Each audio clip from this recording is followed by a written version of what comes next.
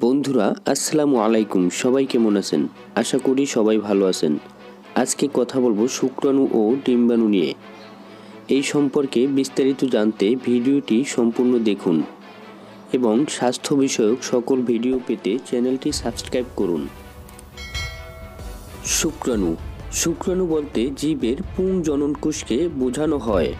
শুক্রাণু যখন ডিম্বাণু কোষকে নিষিক্ত করে, তখন জায়গোট সৃষ্টি হয়। যা মাইটোসিস কোষ বিভাজনের মধ্য দিয়ে পরবর্তীতে ভ্রূণ গঠন করে এবং একসময় শিশু জীবে পরিণত হয়।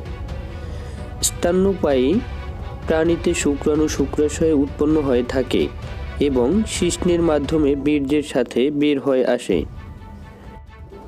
ডিম্বাণু মানবদেহের সবচেয়ে বড় কোষ হল ডিম্বাণু, যা অনুবীক্ষণ যন্ত্রের সাহায্য ছাড়াই খালি চোখে দেখা সম্ভব।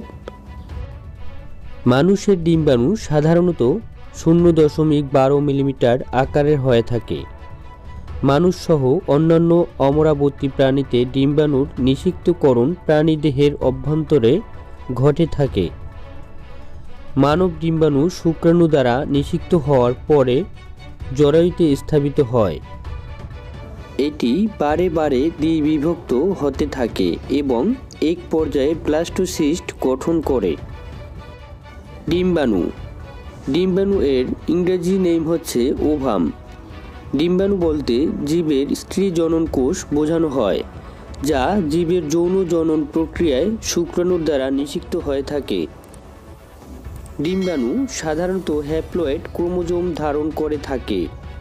নিষিক্ত ডিম্বাণু ডিপ্লয়েড যা প্রথমে জায়গোট গঠন করে, যা পরবর্তীতে ভ্রূণ এবং শিশু জীবে পরিণত হয়। বন্ধুরা, এই ছিল আজকের ভিডিও। ভিডিওটি যদি আপনার ভালো লেগে থাকে, চ্যানেলটি অবশ্যই সাবস্ক্রাইব করবেন। স্বাস্থ্য বিষয়ক সকল ভিডিও পেতে। আল্লাহ হাফেজ, ভালো থাকবেন সবাই।